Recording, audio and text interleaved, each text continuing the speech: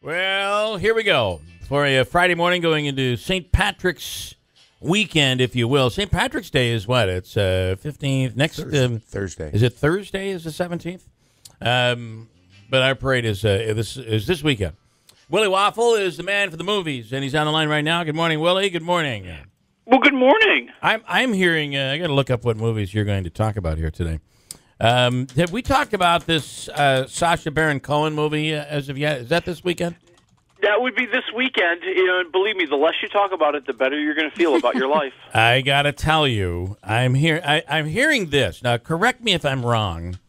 That at one point, um, he's kind of like uh, so. He's kind of like the brother of James Bond, supposedly, right?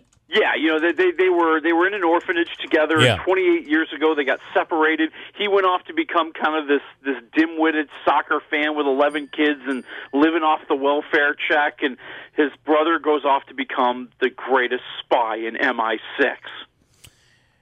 You saw this movie, right? Yeah, unfortunately. How did you handle the place where he hid? There's a lot of just really disgusting things that happen in this movie. I mean, to me, They are crass. how They're did you- disgusting. They are how- outrageous. how did you not throw up? Exactly. Would be my This- question. This, is yeah, this is one of those. Sh- shall I say where it was? yeah. I guess you're gonna you're gonna I mean- you're gonna have to. Shall Shall I use the the medical terms? I think you should stay medical. Uh, elephant um, lady parts.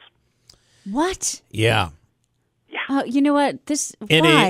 and, and, and if you're if you if you have a weak stomach, I don't think this is a movie that you can watch. No, you can't. And, and and that's the thing with the movie. They they just try to throw up every disgusting, uh, horribly offensive joke they possibly can, and hope that maybe some of it will stick, and some of it will make you laugh. I mean, you know, in addition to that, you have just this running joke where people keep having things. Um, how do I put this nicely? Stuck inside them. Yeah, it's really uh, it's out there and it's gross. Um, what do you give this? Uh, you got through it. What do you? Is there funny to it? Is it funny? Well, eventually something's going to make you laugh. Yeah. but not much. I'm, I'm saying one waffle. I just it, it's not my style of comedy. There's just too much potty humor. There's too much um elephant lady part humor. Yeah, yeah. Who who knew there was such a thing, and why I, uh, do we need I, it? I, I feel that uh, this guy, I, I used to love his stuff that he did on HBO when he would interview like big political figures. He'd go out and do an interview Oh, with them. when he was and- Ali and- G. As Yeah. Ali G, and he'd be this guy that was supposedly somewhere from the Middle East or where was he from? I, I forget, but um, Well, It was all ambiguous. yeah, yeah, you didn't know, and you know the words were kind of made up, and it was it was extremely funny. I, I just thought it was an ex- incredibly funny bit, which he did on the Oscars. He played that character on the Oscars when he came out. Um, yeah, and he was really funny as Borat. I mean, you know, Yeah, when yeah. when when there was a little something more to it other than let's see how disgusting I Yeah, can be. yeah, and and I one- think that that's that's the shift here. You know, it's it's like, well, you know, people aren't smart enough to to enjoy a movie about that, so we'll make it as just Yeah. filthy as possible because that's what people seem to want. Uh, one waffle for the brothers. Uh, just be aware. Uh, Ten Cloverfield Lane. What do you What do you think of this one? This is the one that you want to go see. It is so cool. It is so exciting. And it is everything that you hoped it would be when it just kind of mysteriously showed up in our lives a couple of months ago.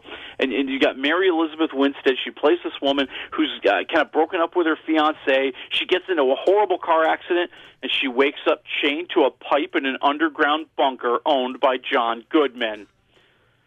Yes, and he's telling her that something horrible has happened. Why? There's been an attack. The air outside has become poisonous, and the bunker is the only safe place to be. Wow, you like this though?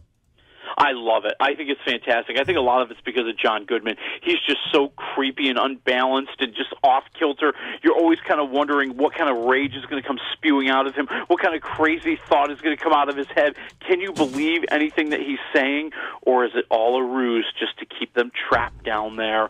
And it just, when he talks, just everything sounds so ominous and so unsettled and so frightening you just want more. And then they throw a little mystery into the middle of the whole thing just when you think you got it all figured out. I, I- I've heard he's lost a lot of weight. Well, he did lose a lot of weight. He seems to have put some of it back on in Uh. this movie. Well, um, I got to tell you, I love John Goodman. I how do you not like John Goodman? He's just a guy that you might not remember always, but when you see him, you're like, oh, I I really like him.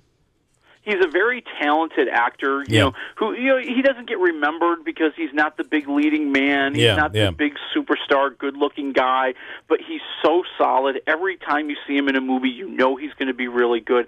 And this is a movie that gets a ch- gives him a chance to showcase all of that talent Yeah, and yeah. create a character that is just unforgettable. All right, so uh, might be a good one to see. How many waffles again you giving this one?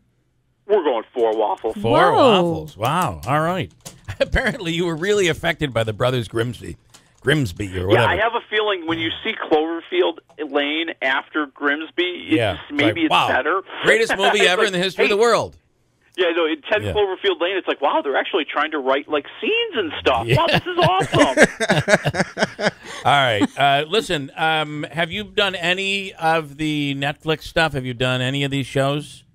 I have not. I'm like the Netflix nobody. What- Okay. What, I, uh, don't they have some new thing coming out tonight? Like uh, some sketch comedy deal coming out tonight or something? I don't know. I'm consumed with uh, House of Cards, and uh, I, Oh, it's there you funny. go. Uh, Manaski asked me yesterday, "So how far along are you?" What did I say? I was like, "I think I'm on episode four. And last night, we, honest to God, we pull up uh, to watch an episode last night, and my wife is like, "Okay, you just you just moved way forward. What are you doing? You're on episode nine. I'm like, "How did I get on episode nine? And it changed the interface. It's changed a little, so it's hard to get back. So you figure out how to get back. And I realized we're on episode nine. It came out on Friday. We've watched nine episodes since Friday. I don't know how I pulled that off, but yeah, uh, I know because like you have a life and responsibilities uh, and I, things. I, I, you know what it is. I just go to bed later. That's my life. I just go to bed later. So, all right, Willie, good stuff. It's wafflemovies.com before you go to the movies. Check it out, and we appreciate it. Have a great week. All right, talk to you next week. I think we're going to see Willie in studio coming up next week, right? I think he's coming in. Uh, Tim, uh, quickly, have you seen any? Uh, are you uh, your house cards? I'm House of How Cards. far are you in? So I think we're doing. We're in episode five. Uh, I love watching it with my wife because she'll sit there and go.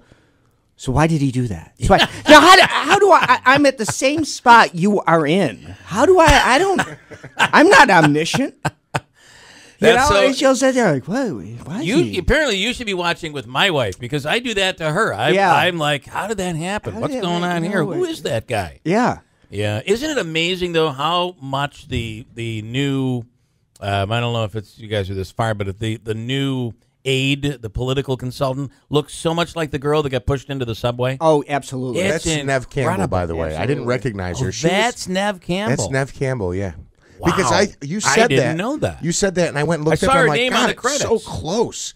Who is that person? So I went and Yeah. looked up. Yeah, Um, it is close though, isn't it? it's very close. yeah. Really, really incredible, and you got to be thinking they were thinking that. But then they got Neve Campbell on top of that. So, uh, listen, if you aren't watching it, a lot of people are. I have to tell you, a lot of people are watching this Netflix stuff. But if you're not watching it, there'll come a point where you're going to want to get in, but you're probably going to want to start from the beginning. Yeah. But this season is pretty, uh, pretty. well, intense. especially with uh, the Yeah. polit- this political cycle has been. Uh, I can't believe how it's mirroring what's going on in the world. How they're talking about a brokered convention. yep.